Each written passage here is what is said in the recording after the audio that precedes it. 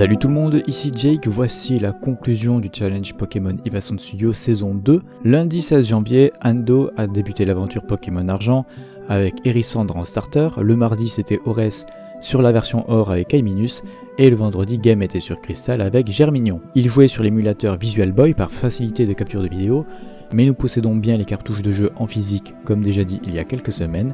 Les règles de ce challenge étaient simples, je vous laisse revoir la vidéo d'annonce de cette aventure pour les détails. Ils ont chacun terminé leur aventure respective et sont devenus maîtres de la ligue Pokémon Johto, mais la question c'est de savoir qui est devenu maître Pokémon en premier, qui a donc gagné ce nouveau challenge. On va jeter un œil sur le tableau des timers. Les challengers ont vécu donc une aventure plutôt intéressante, se sont dépassés les uns les autres au fil des arènes, mais Ores a vite été largué et a continué à se balader, à cueillir des fleurs, à faire ses meetings avec ses Pokémon.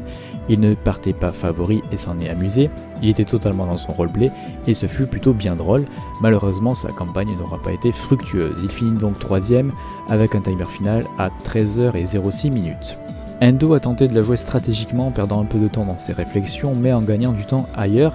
Il a même talonné Game à plusieurs reprises, le dépassant parfois, mais sur le sprint final, il a fini avec la médaille d'argent avec un timer final à 10h et 21 minutes. Game, quant à lui, a tracé sa route et malgré quelques mésaventures, il a rattrapé son retard final et finit donc premier avec un timer final à 9h46 minutes. Il remporte donc ce challenge Pokémon et un petit cadeau comme promis, c'est un magazine Pix Love, c'est le numéro 28 spécial Pokémon.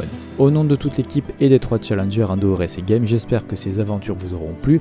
Nous partons prochainement vers de nouveaux horizons. Suivez Studio sur les réseaux sociaux, mettez un pouce bleu si ça vous a chatouillé les aisselles et je vous dis à très vite, ciao